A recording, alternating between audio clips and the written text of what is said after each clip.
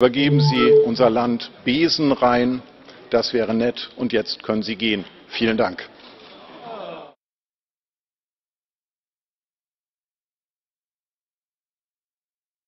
Vielen Dank, Präsident, Frau Bundeskanzlerin. Ich muss mich entschuldigen. Ich habe gar keine Rede vorbereitet. Ich habe die Redezeit nur beantragt, weil sie sonst an Udo Vogt von der NPD gefallen wäre. Und ich.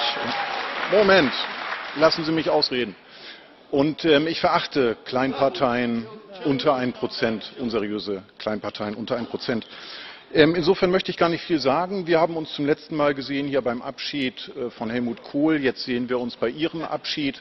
Ich möchte Ihnen auf den Weg geben, Sie werden mir immer sympathischer, je mehr ich Leute sehe, die Ihnen in der CDU folgen werden in den nächsten Monaten und Jahren. Ich möchte Sie bitten, wenn Sie gehen, übergeben Sie unser Land besenrein.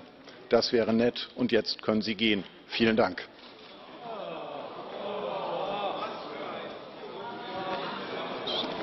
Ora per le prime risposte la parola al cancelliere Merkel.